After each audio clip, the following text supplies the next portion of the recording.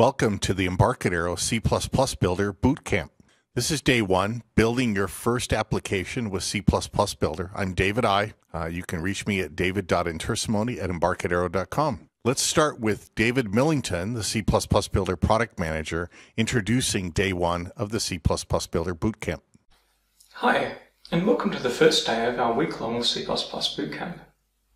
We have a great series of sessions planned covering topics from just getting started through to modern C++, making games, creating great user interfaces and moving our apps to native mobile applications, as well as a conversation between Patrick Scheller of the C++ Google Plus group and Bruneau Babet, one of our compiler engineers. So lots of interesting material. I hope you've redeemed your free license of C++ Builder Starter in order to download and use the code samples too, but if you haven't yet, don't worry, We'll make it available all week for the duration of the bootcamp. Today is an introduction to making your first C++ application. C++ Builder, our IDE, can be different to other C++ IDEs. We support many platforms, right now Windows, Mac, iOS and Android, with Linux coming soon, and use enhanced Clang-based compilers. We also have great tools and frameworks, not just for database and web, but for things like building apps that are connected together, or for cross-platform but native UIs. But we'll get to that later. Here's David I, one of our tech experts, to give you an introduction to building your first C++ application. On the links I have uh, on my blog post, you'll see these different links to these pages. This is the, the C++ Builder Product Editions page. So we're using C++ Starter during this bootcamp week, but you can also use the Pro Edition, the Enterprise Edition, the Architect Edition of C++ Builder. Uh, the difference in Starter Edition, which has that free for now special offer, uh, is that it, it has all the capabilities of the language compiler, as well as you can build Win32 applications with the Starter Edition using both the Visual Component Library VCL or the FireMonkey framework FMX. This is that note about the special offer that's happening right now that David M. referred to. Uh, the starter edition. If you go to the shop site uh, or just search for C++ Builder Starter Edition special offer uh, with your Google Chrome, for example, and you'll see that it currently is uh, zero dollars, and you can download the install, and it will give you the uh, it'll will send you a key that you can use as part of the install. This is the starter edition landing page, which talks about the key features, the full ID, and so on. Uh, then uh, again, more about the, the, the free tool we have under uh, under the Embarcadero uh, web page on www.embarcadero.com. We also have a free command line compiler, the C++ compiler. It's the same Clang enhanced compiler if you just want to do um, some RTL work, some boost work, some some uh, console application based or other kind of development using the C++ 11 language. We have the free command line compiler that's been updated to be the same compiler that's in Starter Pro Enterprise and Architect Edition. And then I have the link to cppreference.com uh, where we keep updated our uh, compiler support for the C++ 11 language. So you'll see on the column here, uh, Embarcadero C++ Builder, and by all of the approved standards and some of the draft uh, papers that are going on, you'll see where we have uh, support along the way. The other thing to look uh, on this uh, column, if it hasn't been updated, is if you look at the Clang column, uh, we're shipping version 3.3 of our Clang enhanced C++ builder compiler.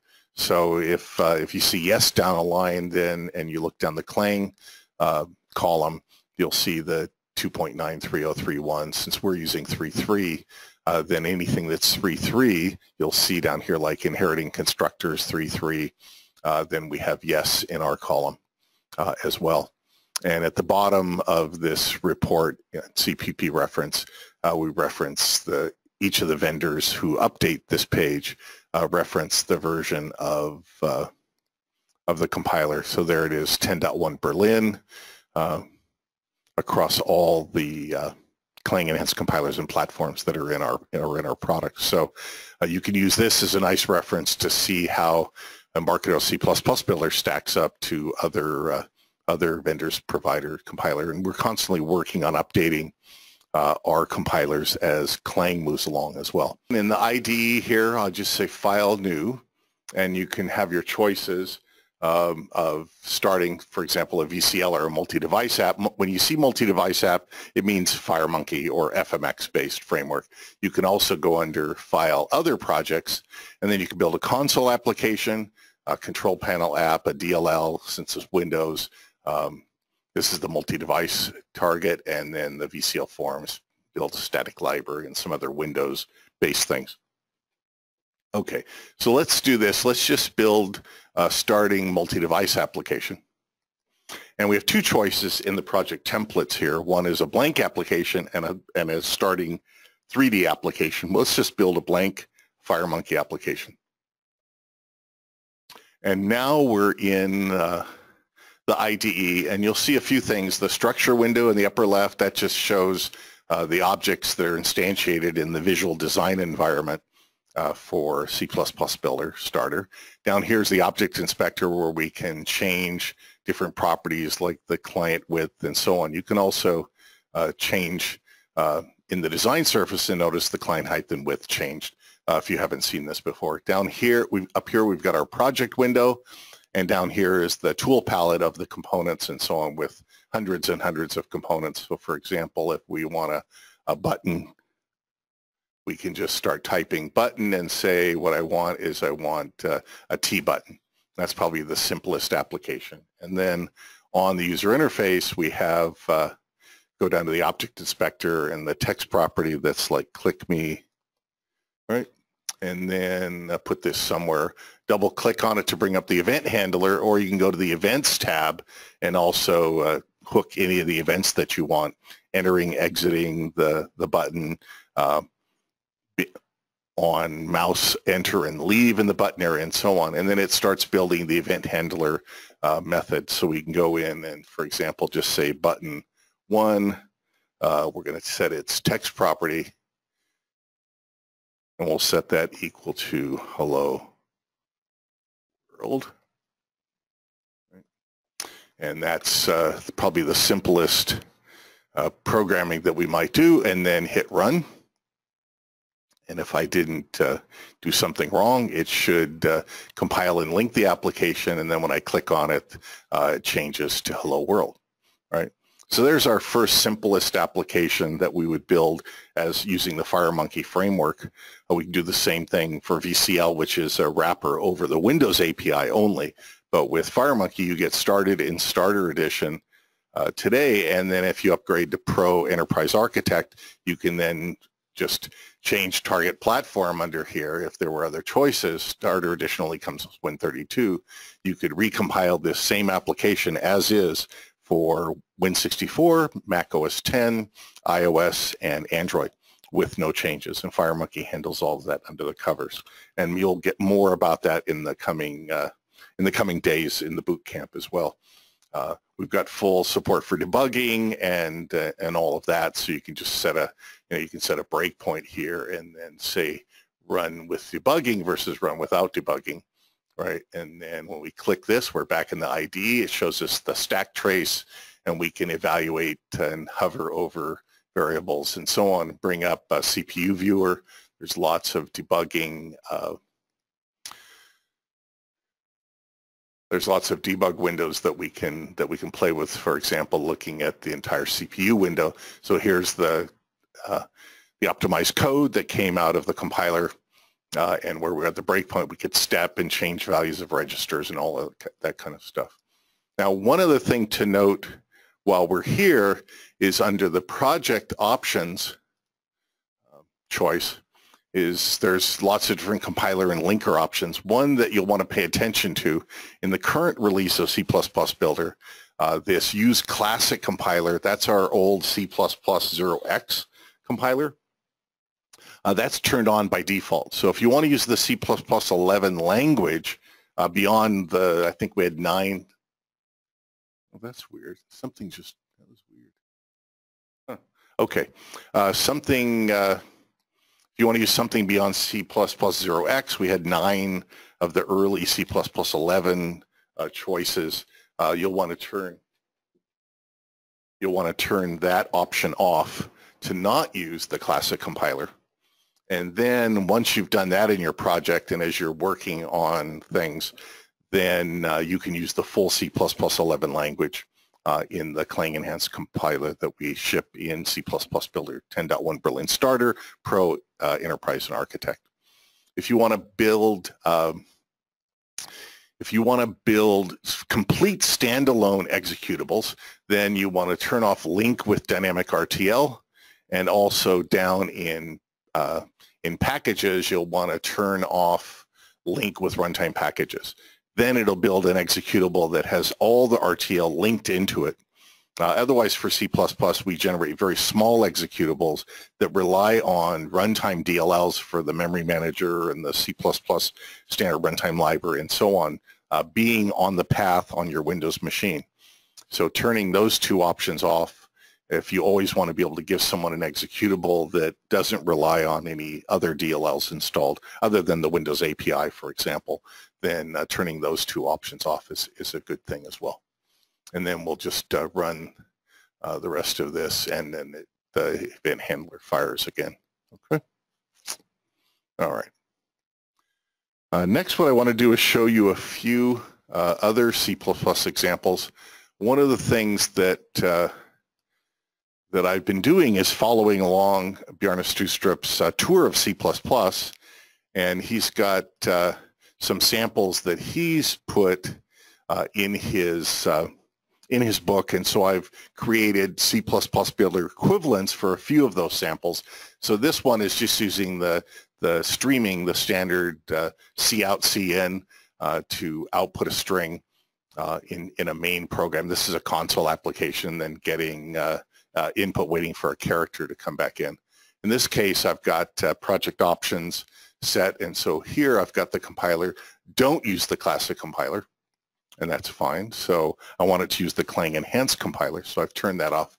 And then if we just run this example, it, it does what you'd expect. It puts a console and waits for a, you know, a key to be input, and then uh, it comes back to the source code. Another example that he has in his book that I also uh, did is I, this one just squares any value that uh, that you pass to it and then outputs that using the the streaming uh, cout call again uh, to output the strings. And so you know here we are. There's uh, the square of those numbers uh, and so on. All right. So just a starting point to let us take a look at the language here, uh, and you're going to get a lot more of this in day three on the C++11 language. So using the new auto uh, that is part of C++11 to have it automatically type uh, different variables for you so you don't have to say, you know, bool this, int this, and so on. I just say auto b equals true, and then it knows, hey, that's a bool type, and uh, ch equals a you know a single character that's a char type and you know auto something with an integer then it does the right thing right? So those are just parts of support again inside of uh, the Clang enhanced compiler. Again in these samples I have the the compiler set to use classic compiler false so it uses C++11 if I turn this on and I try to compile it uh, I'll get errors where it says you know uh, declaration error syntax, and so on. So that's what you'll you'll find if you don't turn off that compiler.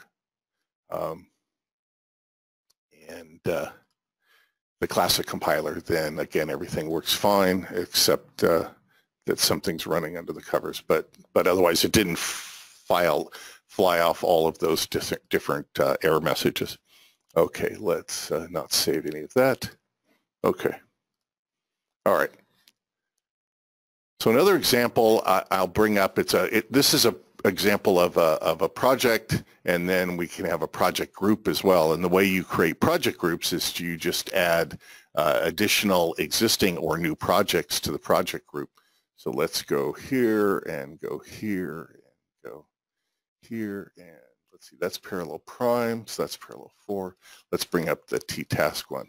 So now I've got a couple of projects and once you have a project group, you can do things like clean all, build all, compile all. And again, you can uh, add a new or existing project to create larger project groups as well. So Uh, this, this first example, um, it's going to use uh, what's included in 10.1 Berlin. It's our parallel programming library uh, for C++. So I've got two buttons here and uh, a serial version and a parallel version of a for loop or standard for loop and a parallel for loop.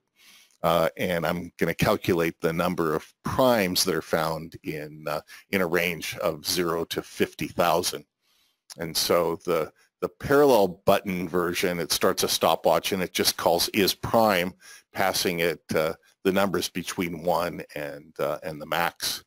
Um, and is prime up here just does a brute force test to look to see if that number is a prime number. And then the second, uh, the second example uh, button here is uses the parallel programming library. T parallel colon colon is the namespace for, and we pass it the uh, the starting one to the maximum.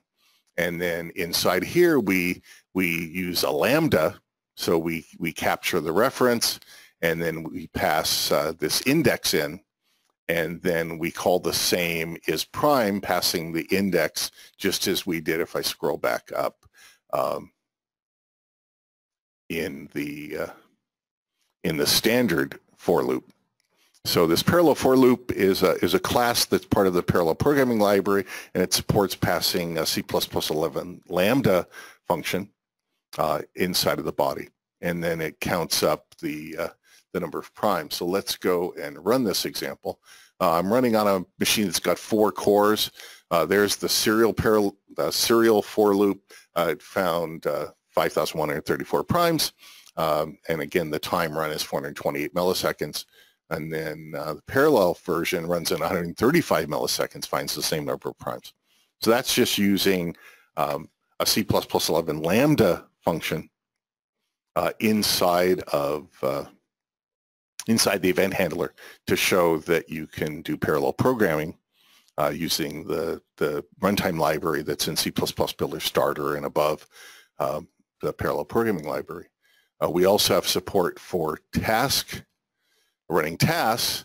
So here's a button that just creates an array of tasks. In this case, two tasks. It creates them uh, has them do something, in this case puts them to sleep, uh, and then when they come out of doing some long-running algorithm, for example, or a SQL query or whatever, then we uh, we will increment saying that that task is has complete by updating uh, a global counter, which is defined inside the form class. And then we have two different methods that we can call on t-task. One is wait for any task to complete, the other one is finally to wait for all tests complete. So depending on how you want to do your parallel algorithms inside of your C++11 applications, you can uh, you can use the the parallel task part of the of the parallel programming library and uh, and start up multiple tasks that are off doing things while your user interface is responsive or or your application is doing something else. Okay, and so let's just run this example. And uh, what is, oh, that's right. Let me do a clean build.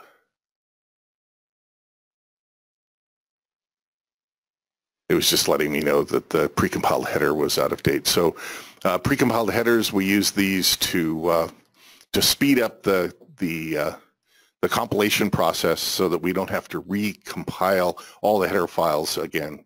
Uh, so here we're starting all the tests, all tests started. Uh, that first one that waited for three seconds, at least one task is done, and then all tests are done. All right. So that's a second sample uh, parallel library that uses a, a, Lambda inside of the task create uh, to, in this case, I'm not passing anything in, I'm, but I'm accessing this uh, this counter, which is declared right here. Um, and it gives me access to it. So you can use lambdas uh, inside of the uh, parallel programming library uh, in C++. Let me add one other existing project. This one is a future.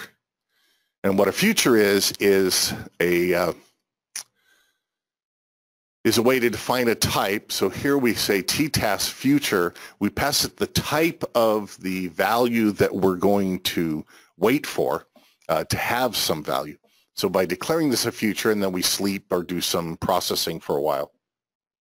Um, and then after we start that future up, well, we'll sleep for a little bit. And then here I want to get the value of that future. And so at this point, at this statement on line 28, what will happen is that the application will wait under the covers until that uh, until that future has a value, right? So here it's going to sleep during doing some calculation and, and inside of the task when it gets created. And then the main program is going to sleep for one second. So it's going to have to wait. It's going to get blocked right here when we try to access the value of the future. Uh, in this case, it's going to be the return value of, of, 42, and then we'll output that value. So let's go and uh, let's do a clean again. Okay, and a build. Well, let's just do a run. That will do a build for us.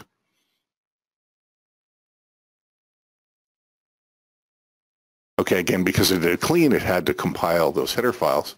So now it just sits there and waits until finally uh, the future gets a value and it says the future has a value of 42 and the application can continue.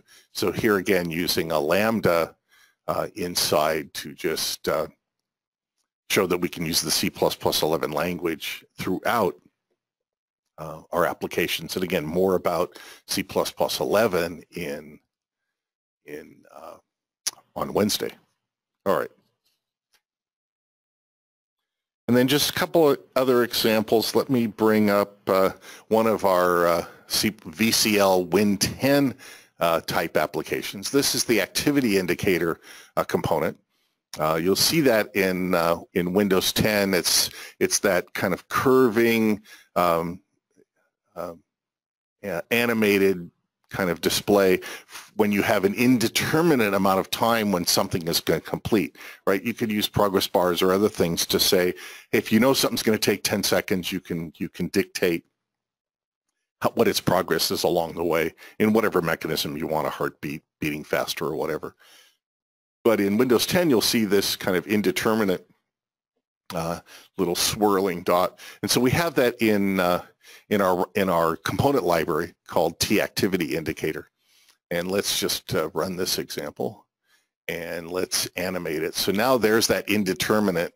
Uh, we can also uh, change the you know the delay so it doesn't run as fast and you know run slower. Uh, you can change the size of the indicator. These are all property settings of the component. We're just using a user interface uh, here. That's sort of a white on white. I don't think that's going to show up very well, so we'll change it back. And then, uh, you know, you can change the type of the indeterminate indicator. This is the momentum dots, which uh, Microsoft comes up with. I wanted to use this as well because you can, it shows how you can change the style just by changing a, a, a style setting for your VCL. We also have styles in FireMonkey. I think you'll see that tomorrow on day two. There's the Windows Dark style and the default Windows 10 style. And the way you set up styles in a VCL-based application is under the project options. Um, let's see, application appearance. Down here, you can specify uh, additional styles that you might want to use in your application. You can also choose once you've selected those styles that we support uh, you can choose what the default style is. So if you want a Windows 10 style, then uh, you can have that be the default style. In FireMonkey, we have a T-Stylebook uh, component uh, that you can drop down. And again, more about that tomorrow. So there's Ruby, Graphite, Onyx, uh, and so on, Obsidian. So you can make your applications look very nice uh, and match the desktop that you have and or a certain look you want for your applications. All right. Uh, one other example I wanted to show, and all of these samples, not the parallel ones, I'll put those up in some of the command line from the Stroustrup tour of C++ book. Uh, this is a, uh, let's go back here. This is ships with uh, with the samples with the starter edition.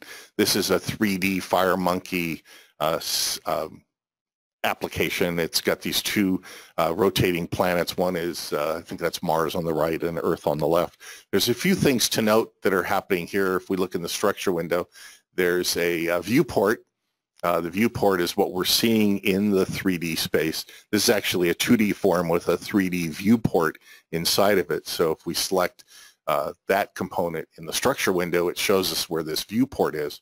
And then we have the uh, couple toolbars uh, here at the top and the bottom.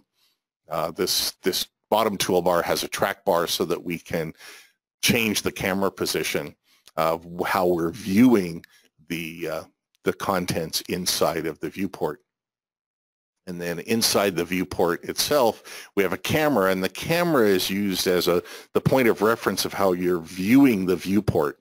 And we're going to move that camera in and out to move uh, uh, from outside looking in and going past the planets, and then uh, on the ins going on the other side and looking back at the planets.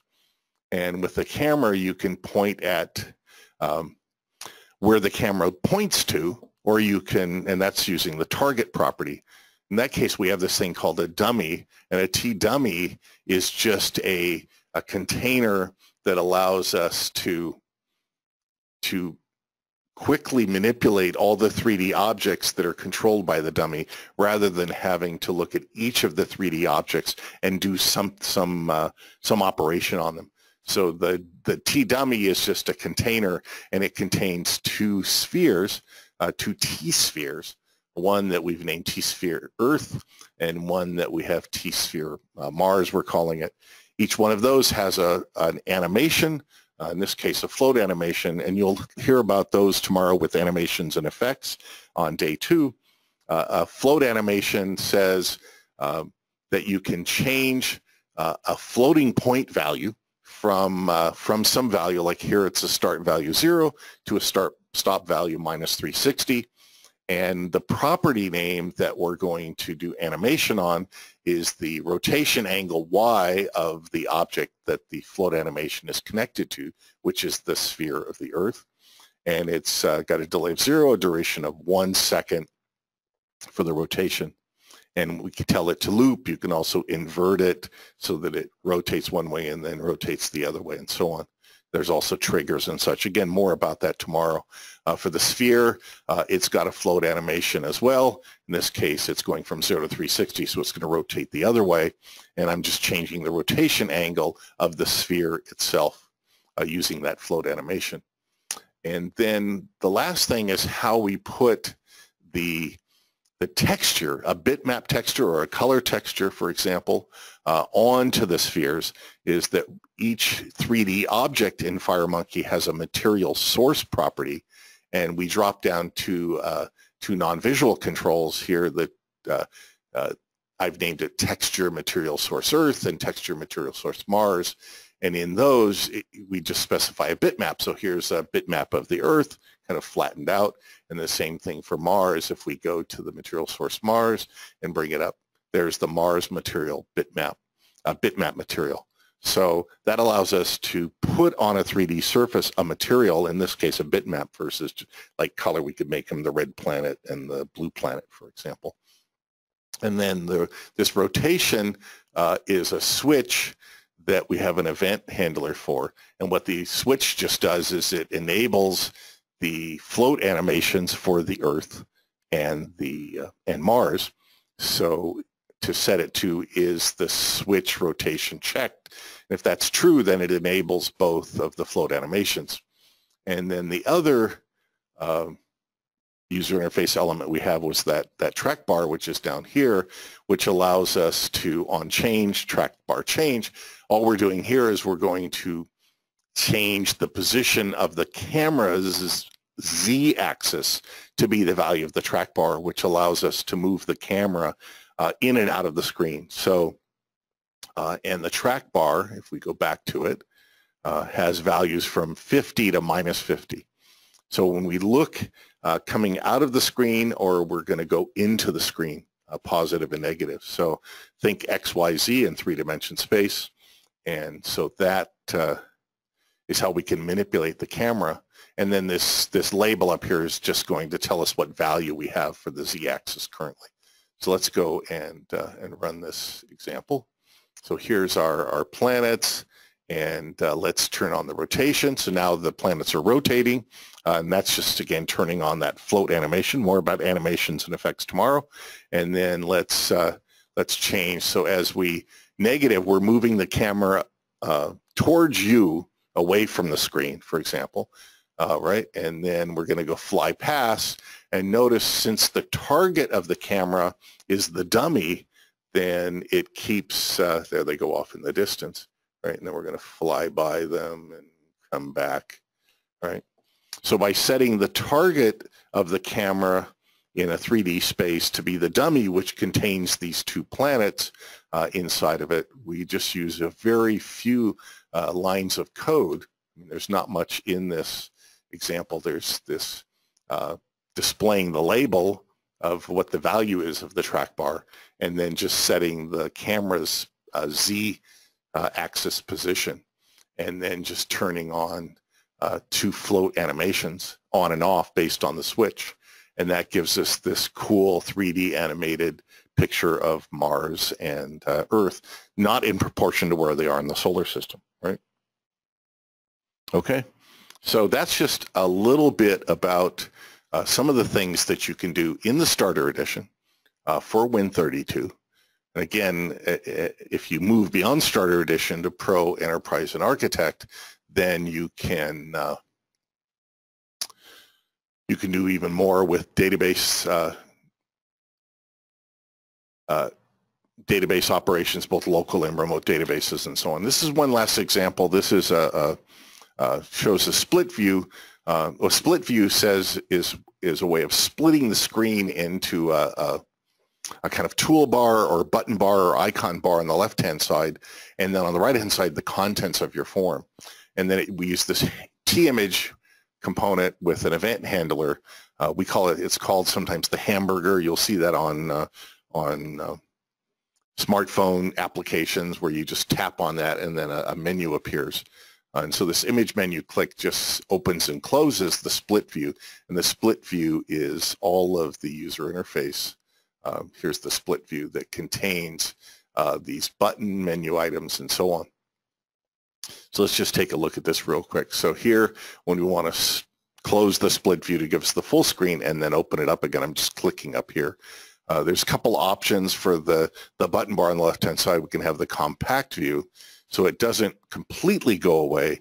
Uh, it, it just shows the icons themselves. And so that's setting one property, the compact view. Uh, and then do we want the display overlapped or not so that, uh, right, and completely collapsed or docked?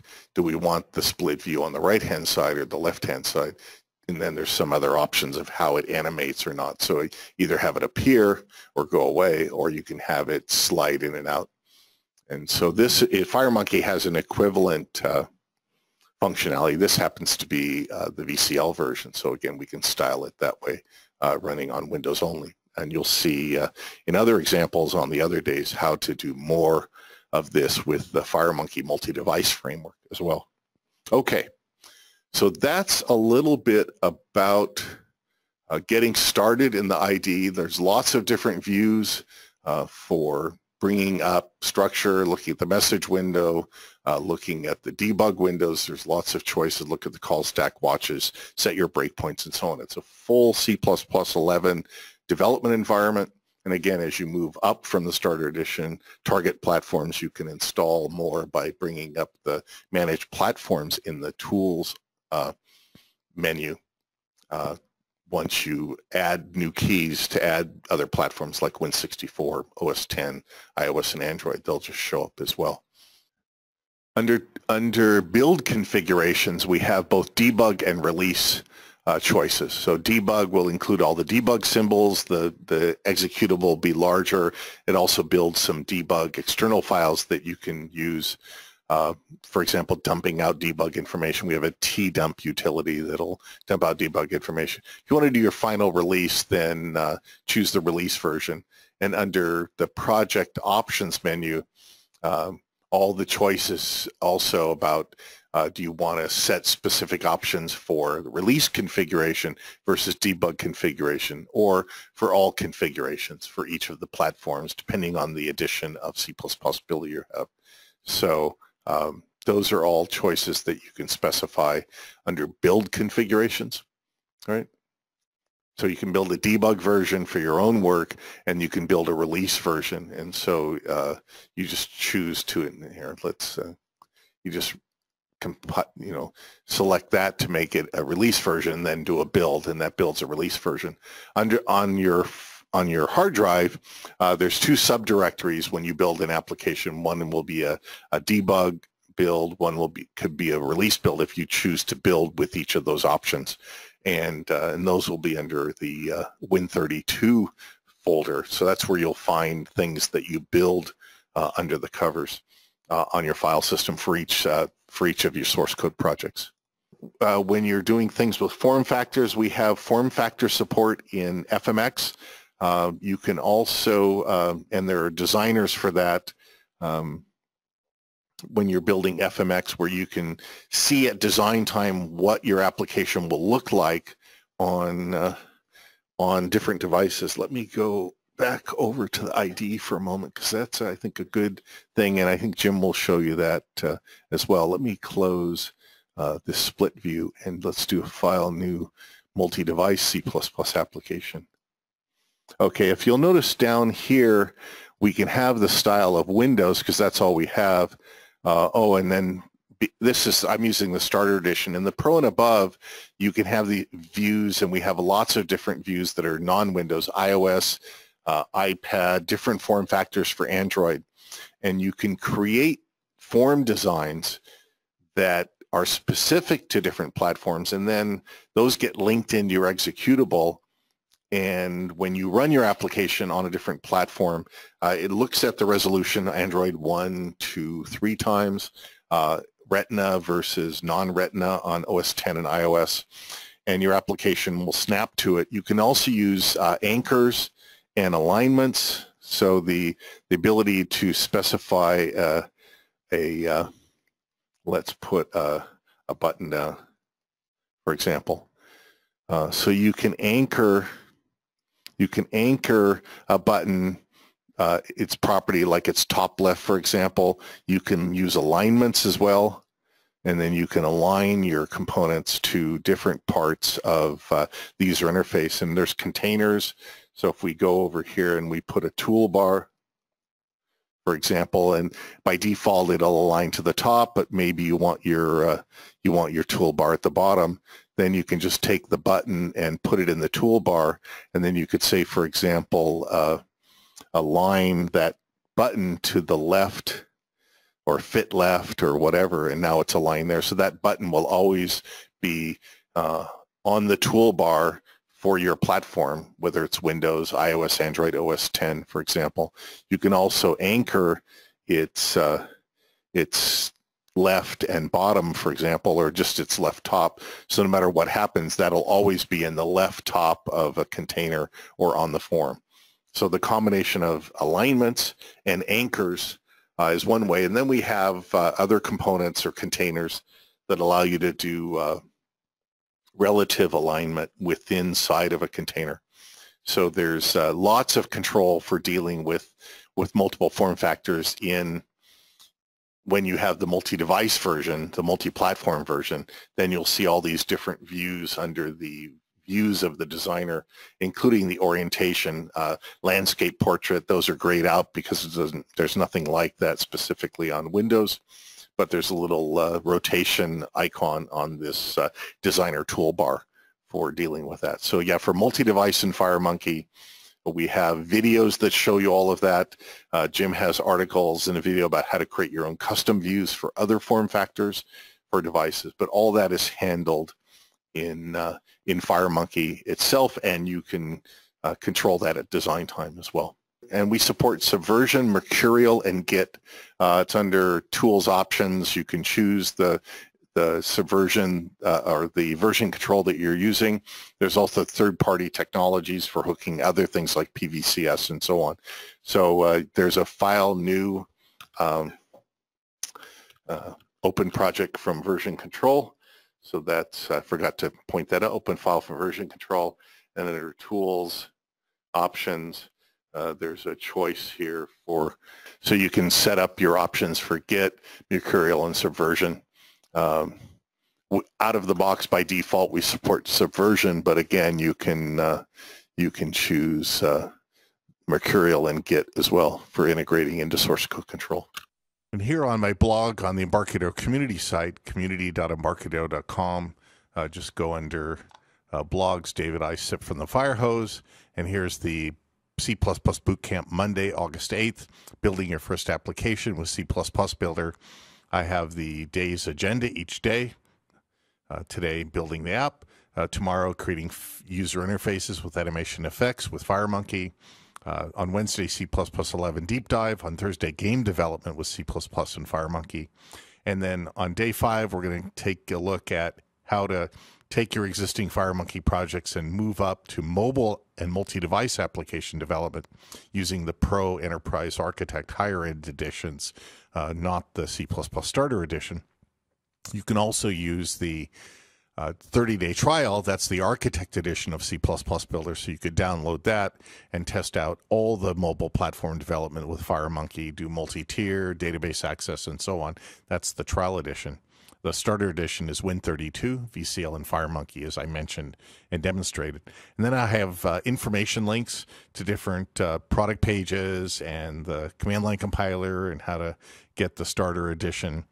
Uh, a YouTube video that I did about just quick seven minute overview of the C++ starter edition, uh, the CPP reference page with compiler support that lists the Embarcadero C++ builder Clang enhanced 10.1 Berlin compiler uh, the link to Bjarne Stroustrup's tour of C++ on the ISOCPP Foundation site, isocpp.org. Uh, just isocpp.org slash tour. Uh, Bjarne has given four chapters, beginning chapters of his tour of C++ book. You can download those PDFs and learn more about the C++ language. I'll keep updating that blog post with additional links and links to the source code projects that I showed during the demos. So you'll find all of that on my blog post. Uh, for today. I'll keep adding to it. And now it's time for your questions. And on the screen is the short URL for the day one blog post with additional links to information as well as link to the source code projects. I'll be updating my blog post with the link to the replay video when it's completed later today. Okay, a couple of people are saying they're still waiting for their key. Uh, so uh, check your spam folder. That's a good way. You can also go and choose to get sent a, a, a, sec another key. It'll it'll send you your key again if you go back to the shop site and and order. It'll uh, it'll tell you the key that you have. Um, so apparently there was uh, yeah, Jim. quite a bit of demand for these keys. And so sales is generated from the keys manually. So if you haven't received your key, you can send David Millington an email at david.millington at embarcadero.com. He's the C++ product manager we talked earlier, and he will uh, see what he can do to help expedite that. Because apparently the demand has been quite uh, quite a bit. So there's some some of the sales has fallen behind as far as getting those keys filled. Okay.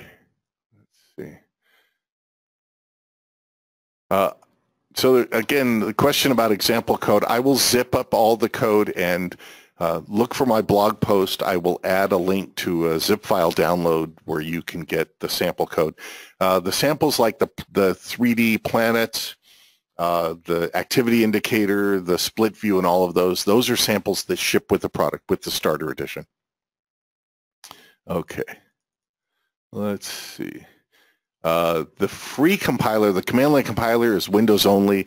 The starter edition is Win32 only. And then if you upgrade to Pro, Enterprise, or Architect, then you get uh, all the platforms and other capabilities, multi-tier database and so on. Uh, our IDE runs on Windows. Um, so uh, what I was using is I'm, I have a MacBook Pro. I run Parallels, but you can also use uh, VMware and you run the ID on a Windows machine or on a Windows VM and then you we have technology for in the Pro Enterprise and Architect for compiling and uh, and uh, targeting Mac OS 10, iOS, and Android. So uh, that's the way all of that works. Uh, under the covers. And there's more information about that in the doc wiki for uh, for C++ Builder about how to do multi-device development. We have lots of videos as well. If you go to the Embarcadero TechNet channel on YouTube, you'll see uh, lots of videos and how to very short how-to videos on a whole range of topics about how to use 10.1 Berlin. Um, so in our world, uh, there was a comment about Xcode being for OS 10 and iOS. Uh, in C++ Builder, once you have uh, the Pro Enterprise Architect Edition, the multi-target, it's one set of source code, recompiling it. FireMonkey and the underlying runtime library that we provide in the paid version versus the starter edition, those higher editions, allows you to just change the target platform. You just recompile under the covers. It compiles and builds an app bundle for OS 10, an app bundle for iOS, an APK file for Android. Uh, we also have components for the camera, you know, on the smartphones for cameras, the GPS for, for orientation sensors and all of that, support Bluetooth, Bluetooth LE, all of those things are in the Pro Enterprise and Architect Edition, plus cloud-based development, uh, talking to SQL databases and so on. So the great thing about using this it runs on Windows, is you compile your code targeting the different platforms. We build uh, those native code, optimized machine code uh, with Clang compilers that are on the Windows machine compiling for those target ARM processors for iOS and Android and the uh, Intel processor on OS 10. So one set of source code, just recompile uh, for each target platform and your same code runs on multiple places. You can still do if-defs on platforms if you need to do something specific for OS 10, something specific for iOS and Android. The difference in our compiler and the Clang compiler is that we have, we take the Clang open source compiler and we add extensions to the compiler. So we add extensions, for example, for Windows-based development. Uh, we had extensions for working with uh, our Delphi language and some of the runtime libraries that are using Delphi.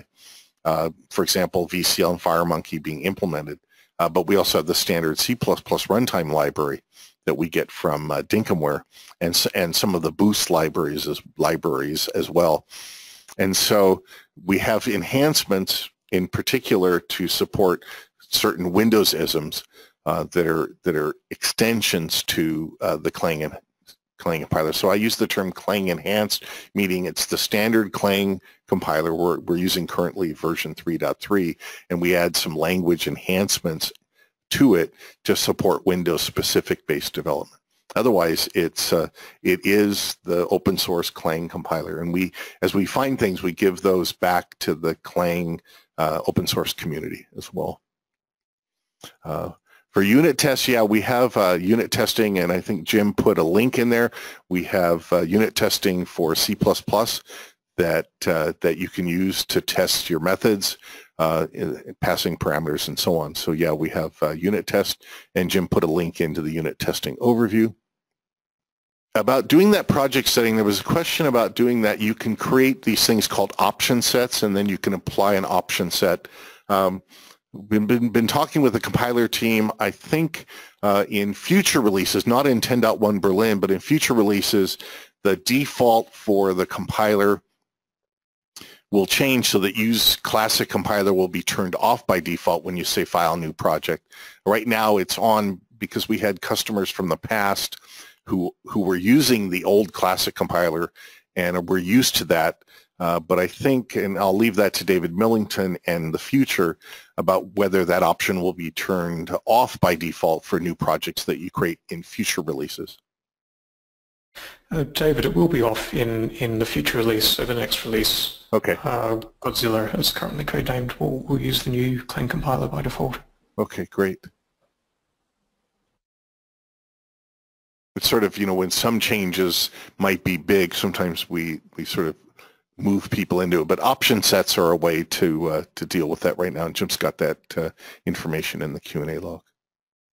There's a question along the way about uh, what about the programmer's editor. There are choices for the key bindings uh, for the editor under tools options. Uh, there's uh, there's some environment options for for doing uh, choosing the key bindings. You can also choose how your code gets formatted as it's being generated and as you're typing because uh, people have different choices for how they want their C++ code to look, what the indentation levels and so on. So all of that is set under the tools options um, and in those options there's a code editor section and code formatting options that you can choose. Um, let's see, for standard library, again, we uh, for the C++ standard library, we license the Dinkumware standard library for Windows, and then we use the standard library, C++ library that comes with the different platforms like OS 10, iOS, and Android. Those are provided as part of like the Android NDK or native SDK, for example. Uh, so we, uh, we use those under the covers, uh, but we have the Dinkumware libraries, standard C++ libraries uh, for Win32 and Win64. Okay, and again, we're supporting C++11, so that's why I put the uh, the link in my blog post to CPP reference, uh, and you can just scan down, or you can go in the doc wiki uh, and look at the C++ language support. We have a similar discussion of what's in the latest version 10.1 Berlin as it relates to the C++ language. So everything that I showed, uh, there was a question here about uh, what about Windows 7? Uh, I was running on Windows 7 uh, in my demos with the Starter Edition, but I also have a Windows 10 VM. Everything I showed that was VCL, the animate indicator, the split view, and so on, the, the VCL styling, uh, and all the FireMonkey work, all of those things run on Windows 7 and Windows 10 and Windows 8.x as well. Uh, and uh, so the best thing is to go to the product page and there's a uh, not only the feature matrix, but there's the the uh, the product data sheet, and it talks about what the IDE needs to run, uh, and then what versions of Windows we have certified our uh, our runtime libraries for both VCL and FireMonkey. So uh, we test everything on Windows 7, 8.x, and 10, and those are the target platforms for Windows that we that we for sure support. Uh, some customers have been able to run some of the VCL and Windows applications on on older versions of Windows, uh, but I think our latest certification is for probably Vista and above. I don't like to think about Vista anymore. I'd rather just say Windows 7 and later. That's uh, that's a good uh, for sure thing. Okay, so the, the book that I was mentioning is if you go to isocpp.org, that's the um, C++ Foundation organization that uh, Embarcadero is a member of and many other compiler vendors are members of and, and community members as well. Uh, Bjarne has a book called A Tour of C++. It's a great, gentle introduction to all the things that are cool uh, in the modern or latest version of C++ 11 and, and such. Uh, there are four chapters. The first four chapters of that book are available as PDF files on isocpp.org. So it's it's uh, Bjarne Stroustrup's A Tour of C++ book. It's available in print form. It's also available in uh, in PDF files, the first four chapters. And then there are many chapters after that as well in his ebook and, and printed book version. He also, Bjarne, of course, is the author of, of some of the most definitive design and and uh, and language books for C++. So um, I have a link on my blog post to the ISO CPP page that has the links on it to the four chapters that you can download for free. And so I'm, I'm slowly working on building samples that work with C++ Builder, Starter Edition, Command Line Compiler, and above uh, that do the same examples that he does uh, in his uh, tour of C++ book. There was a question here about in VCL and FireMonkey themes, can they be changed? That means they are not native. So um, if you don't do anything in VCL, and if you don't do anything in FireMonkey to change the style, then the default style is the Windows style whatever that Windows style is.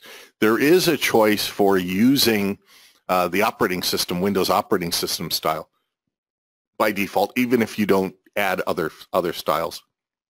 That's in a project option. But if you want to use other styles, and we provide some custom styles that are pretty cool, like a Tron type style, for example. Um, then we have the VCL styles and the FireMonkey style books, and I think Jim, I think you maybe maybe you'll cover styles tomorrow on day two, um, especially for for FireMonkey. Uh, by default, we choose the native style. Um, for each platform when you target that platform. So you saw in Windows uh, for VCL, for example, I had the default style just be Windows style, and that's the old Windows style. But for example, if you want to have the new newer looking Windows 10 style, then we have several Windows 10 styles, optional styles, including the default Windows 10 style. It's subtly different. Uh, and so again, if you don't have a style and you run on a platform, then we check to see what the default style is and give it to you. Otherwise, you can choose specific styles. You can also write your own code to, to interrogate what platform you're running on and what version of Windows you're running on and see what that version is. And then you could choose in code to set your application style as well. So it's, it's all possible both at design time and at runtime to deal with styles. Okay. Right now I'm on the product editions page, so if, if that's near the end, I've just left the product editions page on the screen uh, while we're doing the Q&A. Uh, okay. Again, more about the C++ language and what it's all about is, uh, is on Wednesday. This day was the first just introduction to here's our ID, here's our compiler, here's how you can build some applications, here's a little bit about C++. Uh, and then uh, tomorrow is about user interfaces and building responsive applications. Wednesday is a deeper dive in discussion about more about the C++ language. Oh, somebody wanted to know about doing cloud-based things like Google Drive, Facebook, and so on. Um, the TMS software has their Cloud pack, software Cloud pack um, does all this for Delphi and C++. So just search TMS, T, the letters TM, Mary S, Sam, uh, software Cloud Pack, and you'll see uh, they've got Facebook Docker. They've got a whole bunch of components that you can use in your C++ applications for uh, hooking to different cloud-based systems, Dropbox, a whole bunch of them. Twitter, and so on. So check that out, TMS Software Cloud Pack. Do you lose any components if you choose FMX or VCL? Uh, not really. Uh, VCL is, again, tied to Windows API specifically, whereas FireMonkey generalizes but also provides support under the covers for Windows, OS 10, iOS, and Android.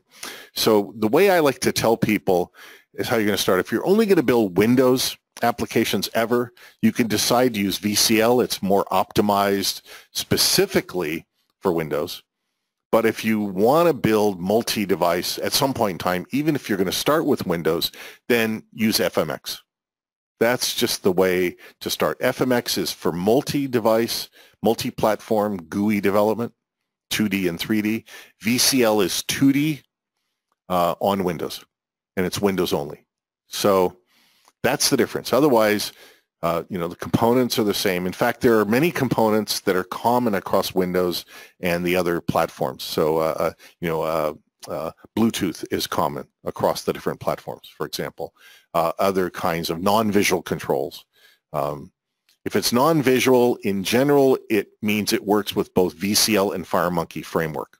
So if you want to do multi-device, but if you have Starter Edition for free, uh, you're doing Win32, that's good. It's a good way to start. And then as you upgrade to add other platforms, you just recompile and the same application runs on all the other platforms. Some people had older versions of CBuilder and they wanted to know about uh, the new version. And I think, David, you were answering some of the the reasons why I moved to the feature, latest, you know, newer version of Clang, version 3.3, so more language support, uh, newer components for Windows 10 and the VCL and for FMX are some of the things, of course, the bug fixes that have happened, quality enhancements, new documentation, new samples, all sorts of things since XE5. You know, you're five, six releases behind. So there's all sorts of good things that way. People had asked about uh, the IDE. The IDE runs on Windows. It's still a Windows-based IDE. It's not a OS 10 or Linux-based IDE. Uh, again, the IDE running on Windows can target Win32, Win64, OS 10, uh, iOS, and Android development. In the Starter Edition, it only comes with VCL and FireMonkey for Win32. But if you upgrade, and you'll see all the cool things you can do throughout the week uh, to the Pro Enterprise or Architect Edition, then you get all the targeting of the multi-device target platforms, especially in the uh, Enterprise Edition.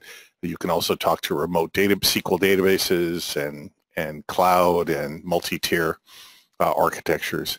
And, and it's on Friday that we'll give you a, uh, a lesson of how you can take your FireMonkey Win32 apps that you build in the starter, and then by upgrading to to Pro Enterprise and so on, how you can just take the same source code.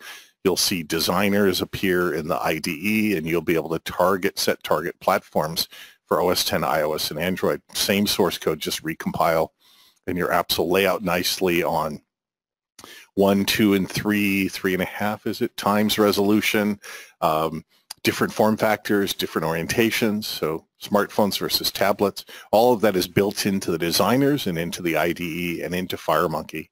And I think, Jim, you're doing uh, effects and animations and other FireMonkey stuff on Tuesday, and then there's more FireMonkey on game development Thursday, and then you'll see even more how you can take all of that and, and compile it, again, native code, optimized machine code for Intel processors and ARM processors on those platforms, right? What else? Again, the starter edition key is a is a you know it's a it's a you know it's a, a perpetual license, so you get it, you can keep using it. Uh, the license agreement just says it's meant for uh, you know, independent developers to build a few projects, build projects for nonprofits, build projects for yourself. There's no charge. If you start generating revenue, then we, we'd like, the license says after you've made, what is it, $1,500 something, you should take that money and upgrade your license from starter to pro and above. But if you're doing nonprofit or free work, you can use the, uh, the starter edition for, for a long time. The trial, which has everything in it, multi-device, mobile compilers, everything is a 30-day trial license.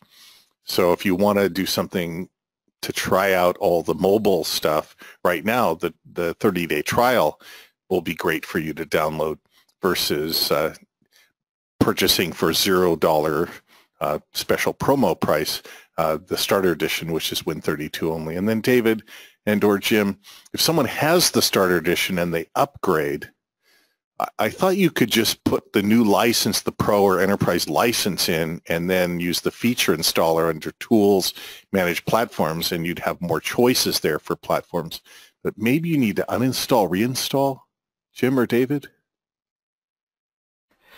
I think Pro comes with a number of other elements, like the full source code for the RTL and VCL and FMX and that kind of thing. So if you happen to do a full uninstall and reinstall, then you will get all all those extra okay. extra pieces. Got it. Okay. Yeah, the trial and the starter edition does not have the source code to the runtime library uh, or the, the VCL and FMX frameworks. Um, but it gives you all the components and all the, the capabilities that you need. Again, uh, once you, oh, we support Retina displays. So once you get to Rad Studio or C++ Builder uh, with mobile add-on, uh, then we support Retina displays on iOS. We support the multi-resolution Android.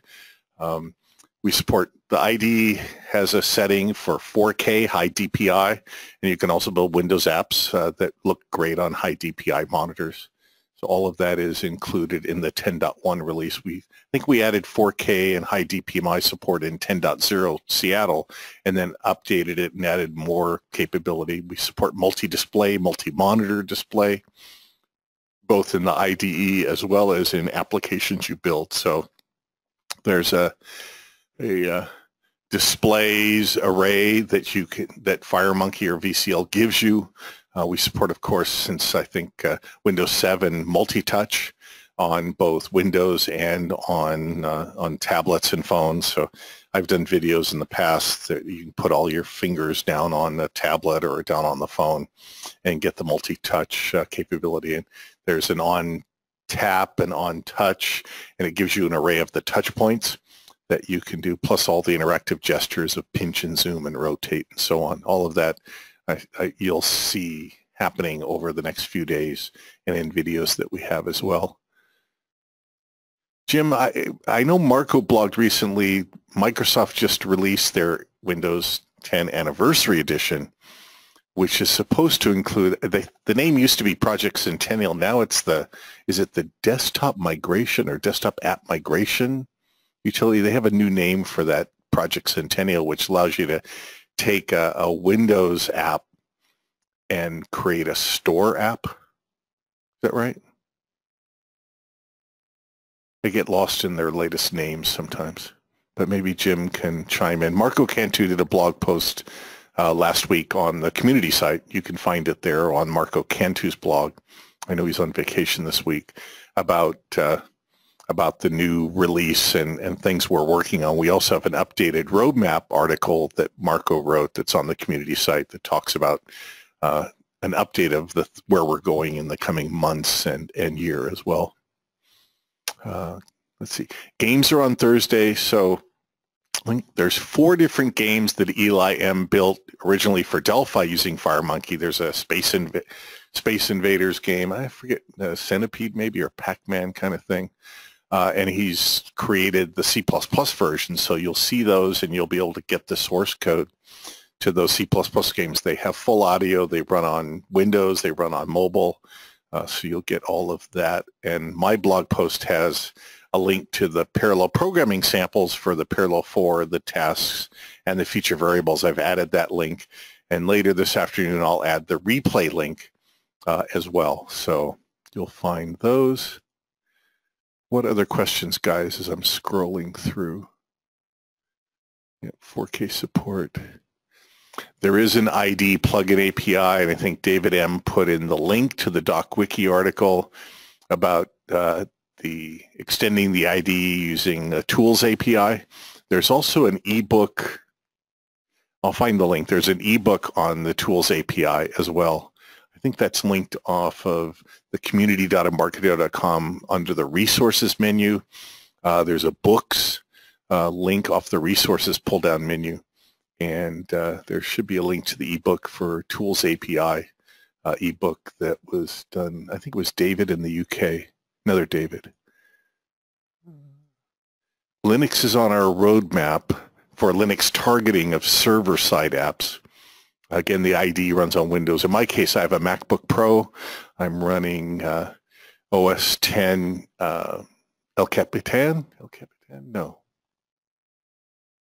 Yeah, and and I, I use Parallels for my virtual machine, and I run Windows 7 and Windows 10 on different VMs uh, to run the ID, and then I can target uh, through the the tool chain to create apps for create APKs on Android, uh, app bundles on OS 10 and iOS, and Windows executables on on Windows. And FMX will get you Win32 in the starter edition, and in our other editions, it'll get you Win64, OS 10, iOS, and Android. Same source code, just change the target platform. Uh, again, the starter edition is hooked, is linked, is targeted at, at the no price right now, zero price, um, with Win32, so you can get started, right? Okay. Uh, Berlin supports Postgres. Uh, there's a uh, if you use FireDAC, FireDAC is our set of database access components that aren't part of the starter edition, but they are in the Pro for local database access and in the Enterprise and above for targeting remote databases. We also support SQLite and our own Interbase Lite, which is a free downloadable embeddable uh, SQL data, full SQL database. And then we support DB2, Microsoft SQL Server, MySQL, a whole bunch of databases, and that's the FireDAC. And again, the Pro Edition has FireDAC to talk to local databases. If you want to talk to remote databases, you need the Enterprise Edition. yes for local SQL databases. Enterprise for remote SQL database.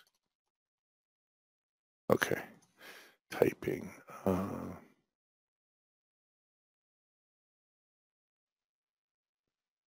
so some of you are asking when when we start previewing the Linux support, uh, how do you get invited to that? And contact David Millington. So david.millington, M-I-L-L-I-N-G-T-O-N,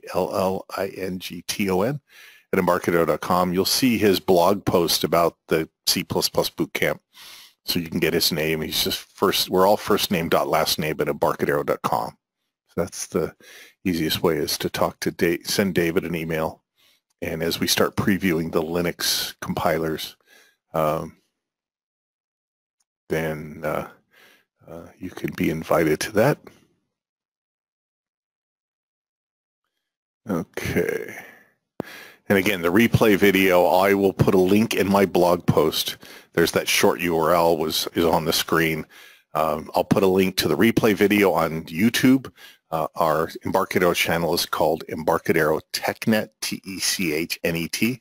That's the name of the channel on YouTube. And then we have playlists. So there'll be a, a C++ bootcamp playlist. And I'll put the playlist and the specific replay for day one links on my blog post as well. Okay. Uh, in the, there's a question here about tutorials and how to use the IDE. Um, there's several things. On my blog post, I have a quick seven-minute video that kind of introduces you to the starter edition, uh, subset of what I did today, you know, that I did back in like April, I think it was. Um, but in the in the doc wiki, and I'll find that link here. Let me find that again. There is a uh, on the uh, C++ developers guide. There's a tour of the IDE, and let me put that link in uh, for the question there. So let's see, tour of the IDE. There it is. All right. So let me, yeah, the basics of the IDE. I showed a few things, but I put the link in. Uh, I'll put it in the chat window as well uh, for the tour of the IDE doc uh, doc wiki. It goes through the welcome page and and the designers and and everything. So all of that is in the developer's guide. Let me put the developer's guide in the chat window on the doc wiki. That's I just posted that. There's a whole C++ builder developer's guide. Uh, it's like five part uh, doc wiki areas with that explains the IDE, building apps, understanding the component libraries, and so on. Okay. Uh, and, the, and somebody asked about databases in Starter Edition. Uh, no, the, the database access is in the Pro and above, and you can see all that information in the feature matrix as well as in the additions page that I link off of my blog post for day one. Uh, you'll see what different features are in the different editions, so you might check those out. Um, we have support, support for Box 2D in 10.1 Berlin. But the games come on Thursday. The games are, are not using a physics engine. They're using FireMonkey and GPU uh, processing. So FMX, as you saw in the Planet 3D example, uh, you can do a lot with, with animations and moving objects around. Uh, we don't have a sprite engine per se, but we do have Box 2D support uh, in 10.1 Berlin. So you can check that out in the doc wiki. Just search Box 2D. And there's some 3D engines out there as well, uh, but we haven't done any specific integrations that way. Okay, there was a question here about if you use controls from the tool palette, how do you know which of them are VCL or FireMonkey? What you'll see in the tool palette depends on which project you have active in the project manager window.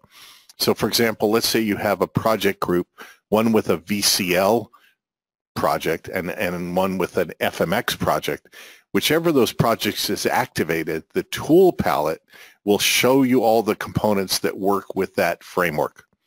So if you say file new FireMonkey uh, application or multi-device application, multi-device meaning fire equals FireMonkey for, for UI, but you could have a multi-device console application, a multi-device, uh, you know, server-side application or whatever. So if your project is a FireMonkey project, then you'll see components that are FireMonkey in the tool palette. If it's a VCL project, you'll see components that are only VCL components.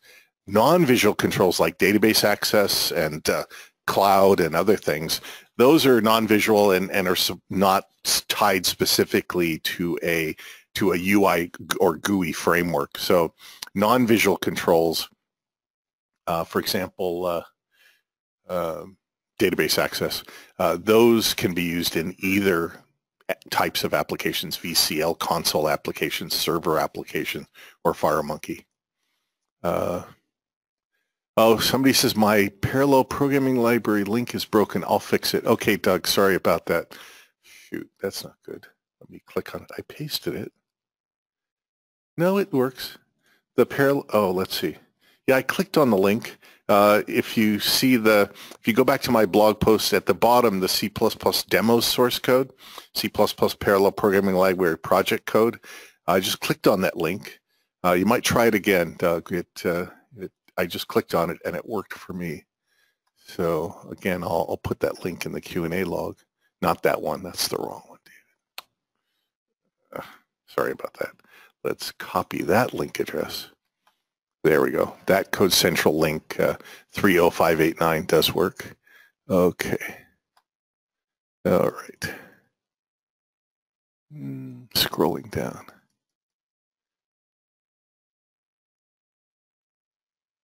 Yeah, I just clicked on that and it worked. So huh, I'll try it again. Maybe Code Central had a, a momentary burp. Uh, yeah, it's getting to it. So just try it again, Doug. Uh, mm-hmm and uh, the let's see.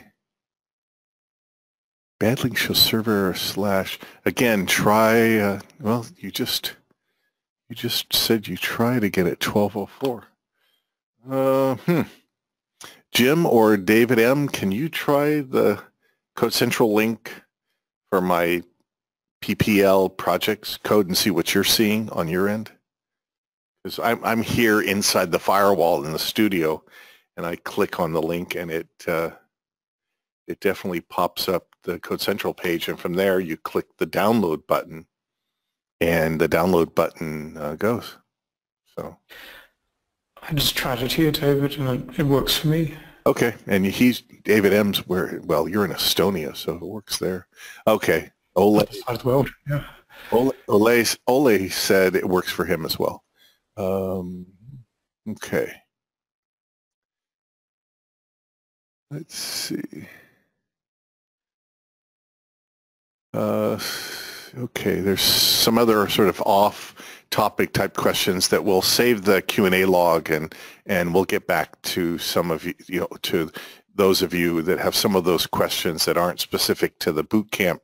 Uh, we'll send you emails uh, to get there. Uh, we don't create Windows Store apps yet, so uh, that's a that's something that 10.1 Berlin. Uh, again, on our roadmap, you'll see uh, the discussion of a few plans for a future release that supports uh, Project Centennials, what it was called. Now it's I think the desktop app migration or whatever they, they call it at Microsoft these days. Huh. Yeah. Okay. Uh, Jim, uh, somebody's asking about Android Wear. I know we don't do Apple Watch yet. We're taking a look at that. But I've built uh, an Android application for, what is the, the Sony Smartwatch 3. Now, Jim, you were doing what, uh, Moto 360? What was the, because you did a, a form designer as well for, for Android Wear. Yeah, Berlin actually has built-in form designers for the different, a few different Android devices, Android Wear devices. It has both the round, like the 360, and the uh, square, like some other devices. And I've tested it on probably four different Android Wear devices, and all of them it just works like a champ. It just uh, as soon as you have your USB drivers installed, it shows up like any other Android device, and you're able to target it directly and build apps for it. So works great.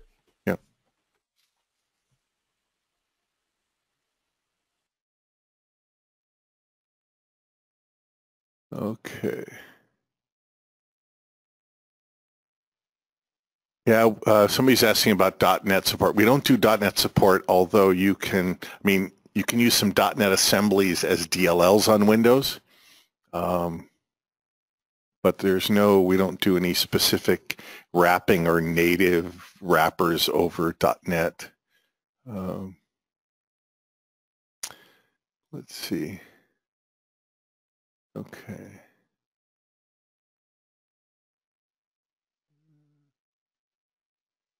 Yeah, you might check, uh, go, talk to Atozed about IntraWeb. Uh, we didn't, we don't include that in the starter edition because uh, the starter edition is meant for building desktop apps and console apps. Um, but you might talk to the Atozed folks who make IntraWeb. Uh,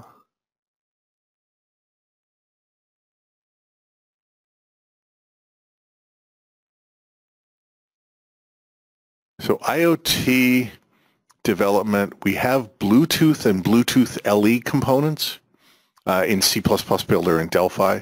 And we have, if you have the Pro and above and you go in the GetIt Package Manager, we have pre-built components for over 50 IoT devices, including uh, lights and pressure, uh, temperature sensors and blood pressure and and uh, heart rate monitors and and uh, Z-Wave lights, Z-Wave switches, power switches. We have videos on that. So if you have Pro and above and you go to the GetIt Package Manager, you'll see uh, a whole set of IoT components that you can download and install, over 50 of them. We do have lower level T Bluetooth and T Bluetooth LE components so that you can do your uh, Bluetooth work at the lower level using those components, do your own device discovery and, and, uh, and interfacing as well. Um, let's see, the ID in HTML, PHP, we you can say file new, bring up and create an HTML and edit an HTML or an XML document. That's on the file other, and then there's another file template for for creating uh, ranges of files. But we we have a product that's part of Rad Studio, which is an HTML5 uh, PHP uh, IDE and application development system. That's part of Rad Studio uh, Pro Enterprise and Architects. You might check that out if you're interested in HTML5, CSS3, and PHP. Okay. Um, yeah, we talked about this at 6 a.m. Somebody asked how to migrate VCL projects, uh, or at least the forms for those projects to FireMonkey, and there's a product called MIDA Converter, M-I-D-A converter.com. If you go there, MIDA Converter, M-I-D-A converter.com, it'll migrate your forms, and then you'll still need to to migrate your code if it's some if it's C++ code, it should be fine. But MIDA Converter will take your forms and it will create FMX versions of the form. So it'll convert a T button caption property to a T button text property in FMX uh, it'll also create database bindings if you have database support using the live bindings uh, mechanism that's included uh, in uh, for FireMonkey and VCL since the last several versions. Uh, let's see. So yeah, two. I the games are all 2D games, I believe. If I remember, I looked at them a, a month ago or so. But come on Thursday, uh, and uh, Eli M. Uh, will show you and talk to you about how he did game development with audio and with animation and all of that. And they're all built in FireMonkey, so, and they'll run on Win32, Win64, OS 10, iOS, and Android if you have the right edition of the product. So the Win32 version of the games will run just fine in the starter edition. Okay.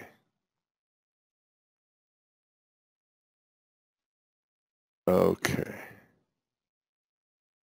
So somebody's asking about the Nordic. I have the Nordic. Uh, I use uh, Nordic uh, beacons and uh, and Bluetooth LE. So I'm not sure exactly if the NRF52 uh, from Nordic Semiconductor. I, I, have a beacon from Nordic, Nord, Nordic Semiconductor that I can use. We have our beacon and beacon fence uh, support with T Beacon Manager Uh, so all of that is in the Pro and above versions.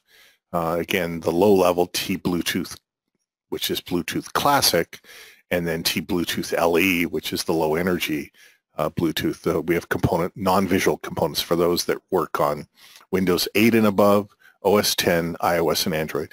Um, which one is it, Jim? T Bluetooth Classic you can't use on iOS without licensing a library from Apple directly. They I don't care if it's a license or a library, but you have to get a special permission from Apple to do that. And um, it's something we could do, but then you couldn't do it unless you got it as well. So you have to contact Apple to get that permission in order to do that. Yeah, for Bluetooth Classic. requires a special dispensation. And then for Bluetooth LE, you need Windows 8 and higher, not Windows 7. Somebody was saying, no, I just tried the, I tried the short URL and it worked fine for me. So Sebastian, you might try again. Um, maybe it was a bit.ly screw up of some kind temporarily, but the, it, it is case sensitive too. The short URL is. Yeah, I pasted the one he had in yeah. his question, and I just pasted it into Chrome, and it worked just fine. So not sure what's happening there. That was France. Maybe something's happening over the over the Atlantic Ocean. Let's see, I'm unable to build and run the parallel demo in 10.1 Berlin. Uh, there's no special settings. The project file that I built has the use um, has used classic compiler turned off or false, you might check that again. But the other, uh, I don't, I didn't include binaries. It's just the source code. So you can try a clean and a build. Uh, I built them with 10.1 Berlin, but I'll, uh, I'll go and triple check uh, later today. And yes, the uh, Q&A, this is the last Q&A for today and the last webinar of day one. Tomorrow again is FireMonkey, animations, effects, responsive UIs, uh, so look at the schedule. Wednesday is C++ language, Thursday is game development, and Friday is a look if you want to move beyond Starter Edition to build, uh, taking your FireMonkey apps that you build and uh, and running them, compiling and running them on mobile. Again, all native code, Intel and ARM machine code. Okay, and somebody's saying the links work from Greece. Okay. Okie dokie. Um, anything else, guys, to add? We're uh, let's see. We're we still have a little bit of time for QA, and then Link is working from Germany and from India as well. Okay. All right. Maybe something on the internet. Mm. I think that's most of the questions. There's, again, a few uh, questions we have to follow up. We're glad everybody could join us. Um, if there is, hopefully see everybody back for the rest of the week. If there are things that you still have questions about, you can certainly feel free to reach out to us and let us know what sort of thing you'd like to see in the future as far as uh, uh, C++ webinars go, and we can see what we can do to, to to address those issues there as well for you. So okay, keep the education going. Okay, any last words, David M.? Well, thanks everyone for attending. I've been very busy responding to, uh, responding to uh, lots of questions uh, as, as David ran the, ran the webinar. It was a great session, so thank you all. Okay, everyone, uh, just bookmark my blog post, that short URL, the CPP Bootcamp one. It's on the screen there, and I'll get the replay up on YouTube today in case you missed anything.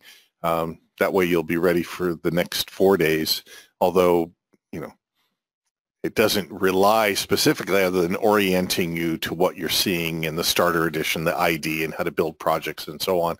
Um, but more to come each day at 6 a.m. and 11 a.m. Pacific time. Okay, everyone, take care, and we'll see you again tomorrow.